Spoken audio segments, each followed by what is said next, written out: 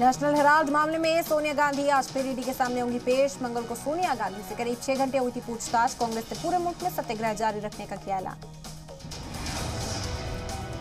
Teacher भर्ती घोटाले में ईडी के रडार पर टीएमसी का एक और लीडर, माणिक भट्टाचार्य को पूछताछ के लिए भेजा गया नोटिस। सराय के मुताबिक ईडी के रडार पर कई और लोग।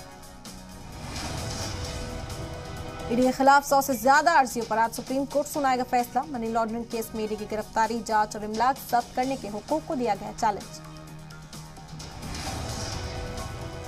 जयपुर में फौज में हनी ट्रैप मामले का इंकशाफ। सीआईडी इंटेलिजेंस ने फौज के जवान शांति मौर्य राणा को किया गिरफ़्तार। तो खवतान को सोशल मीडिया के ज़रिए अपनी रेजिमेंट की जानकारी और वीडियोस भेज रहा था।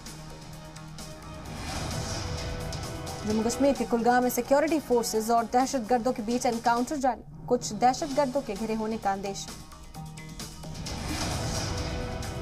काशी विश्वनाथ मंदिर की सिक्योरिटी में भारी चूक वीडियो कॉलिंग की एक और तस्वीर सामने आने के बाद मंदिर इंतजामिया में हड़कंप वीआईपी दर्शन के नाम पर सिक्योरिटी मानकों की अनदेखी।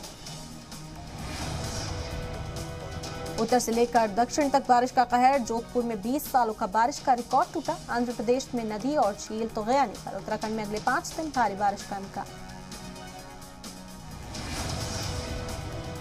मध्य प्रदेश के बड़वानी में नर्मदा नदी का वाटर लेवल बढ़ने से गाँव में घुसा पानी। इंदिरा सागर डैम के गेट खोल देने के बाद तेज़ी से बढ़ रहा नर्मदा नदी का वाटर लेवल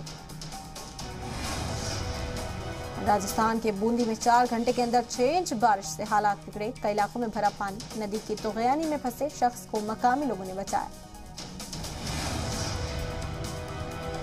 एमपी की 170 जनपद पंचायतों में आज सदर और नायब सदर का इंतखाब। बैलेट पेपर के ज़रिए अपना मुखिया मुंतखब करेंगे जनपद पंचायत मेंबर। शेड्यूल एरिया में सदर औहदे एसटी तबकों के लिए रिज़र्व। छत्तीसगढ़ विधानसभा के मानसून सेशन का छठा दिन। तहरीक आदमी आत्मात पर होगी चर्चा। जोरदार हंगामे के आसार। दिल्ली की तर्ज पर पंजाब में खुलेंगे 75 मोहल्ला क्लिनिक। सीएम भगवंत मान ने कहा, लोगों को घरों के पास ही बेहतर सेहत सहूलियत। वजारत दिफा ने अट्ठाईस हज़ार सात सौ बत्तीस करोड़ रुपए के फौज, साजो सामान की खरीदारी को दी मंजूरी। फौज की जदीद कारी को देंगी तेज़ी। प्रयागराज में स्कूलों के बाहर बमबाजी के मामले में ग्यारह तलबा गिरफ़्तार। एक महीने में छह स्कूलों के बाहर बर्चस्प के लिए बमबाजी करने का इल्ज़ाम। तलबा को जुवेनाइल होम भेजा गया। कर्नाटका के बेल्लारी में बीजेपी युवा मोर्चा के लीडर का कत्ल। बाइक सवार दो लोगों ने किया प्रवीण पर हमला। हमलावरों की तलाश में जुटी पुलिस। मध्य प्रदेश के सरगुजा में टीचर पर दो तलबा, छेड़छाड़ का इल्ज़ाम। अहलखाना की शिकायत पर पुलिस ने मुलजिम हिरासत में लिया झारखंड में ह्यूमन ट्रैफिकिंग के बड़े गिरोह का इंकशाफ। पुलिस ने खातून समेत पाँच मुलजमान को गिरफ़्तार किया। तीन लड़कियाँ छुड़ाई गई।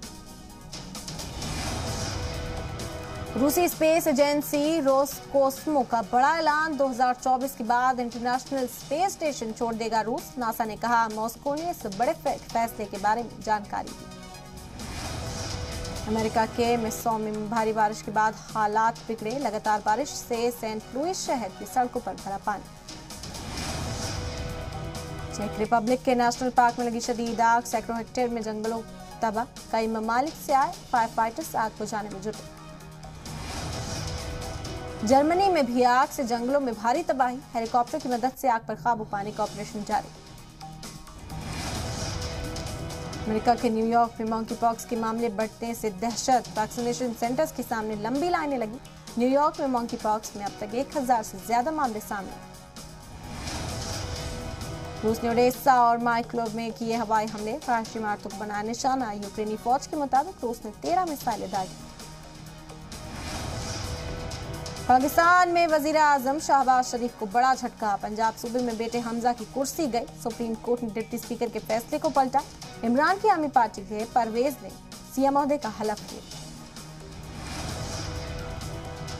फ़ोटो तनाजे पर रणबीर सिंह के खिलाफ मुंबई में एक और एफआईआर। इंदौर में भी बीजेपी का एहतजाज।